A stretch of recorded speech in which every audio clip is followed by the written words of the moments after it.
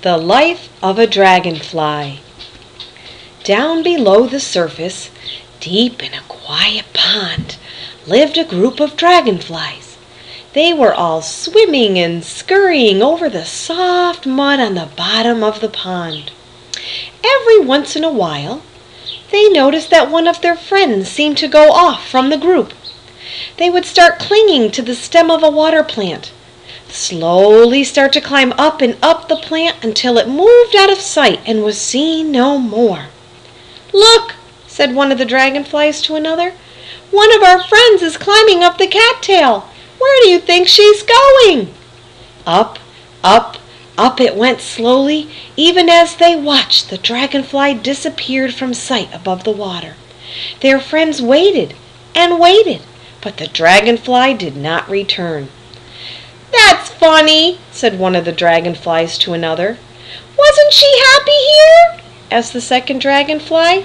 Where do you suppose she went? wondered the third. No one had an answer. They were confused and sad. Finally, one of the dragonflies had an idea. He said, The next one of us who climbs up a water plant must promise to come back and tell us where he or she went and why. All the other dragonflies shook their heads and shouted, We promise! One spring day, not long after that, the same dragonfly who had the idea found himself climbing up the cattail. Up, up, up he went.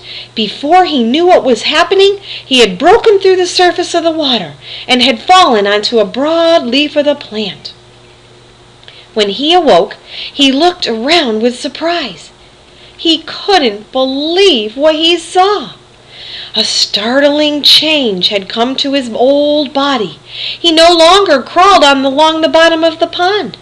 Now he had four silver wings and a long tail. The warm sun soon dried the moisture from his new body. Even as he struggled, he felt an impulse to move his wings.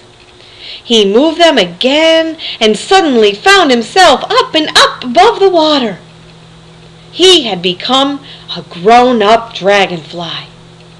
Swooping and dipping and flying through the air, he felt exhilarated in the new atmosphere. Now and then the new dragonfly lighted happily on the lily pad to rest. Then by chance he looked below the bottom of the pond. Why, he was right above his old friends. They were scurrying about just as he had been doing some time before. Then the grown-up dragonfly remembered the promise. The next one of us who climbs up the water plant will come back and tell where he or she went and why. Without thinking, the dragonfly darted down. Suddenly he hit the surface of the water and bounced away. Now that he was a grown-up dragonfly, he could no longer go into the water. I can't return, cried the grown-up dragonfly. At least I tried, but I can't keep my promise even if I go back. No one in the water would know me in my new body. I guess I'll just have to wait until they become grown-up dragonflies too. Then they will understand what happened to me and where I went. So the grown-up dragonfly winged off happily into its wonderful new world of sun and air. The end.